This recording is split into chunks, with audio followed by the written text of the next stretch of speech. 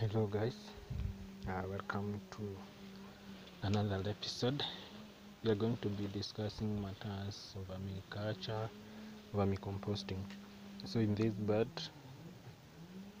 we have our vermiculture unit where the main main activity of this system we are reproducing worms so that we can use them in our vermicomposting unit so what entails in uh, vermiculture is just that we are trying to reproduce more worms mainly red worms so that we can use them in our composting unit. So we have our worms in here. We have our compost or our, our manure a mixture of cow dung rabbit droppings some dry leaves and making sure that our mixture is moist so that the worms can be able to, thrive to lay more eggs and all that. So as we look a bit deeper you can see that we have some worms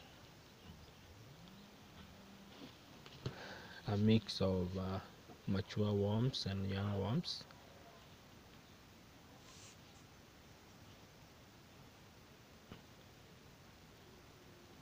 this shows that uh, the worms are laying eggs the eggs are hatching.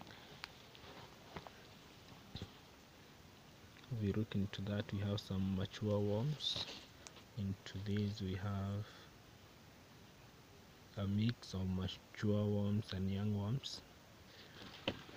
So this is how we're able to tell that the reproduction process is ongoing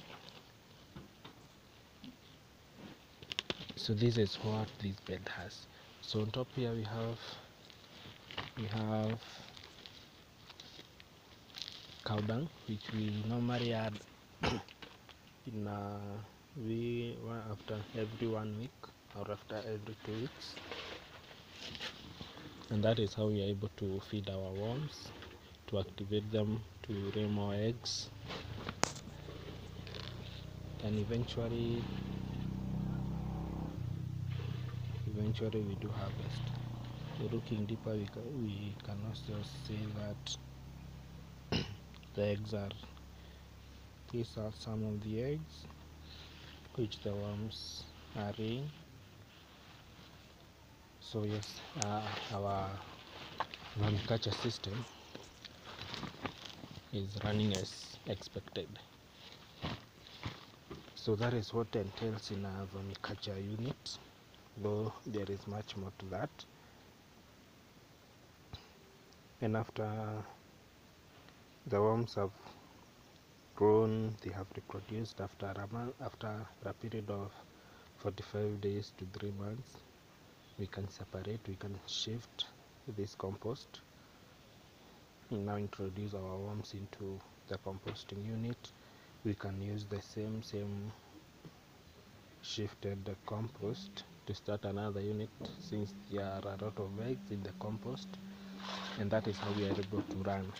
And from that point we can be able to produce compost vermicompost in large quantities which we are able to supply to our customers to use in our farms and that is how we are able to do that. Uh, keep following us subscribe to our channel so that you can learn more and get more of what we are doing in vermicomposting and in the production of black soja fries for the purpose of production of protein for our chicken for our pigs for our fish and we are going to run more. Thank you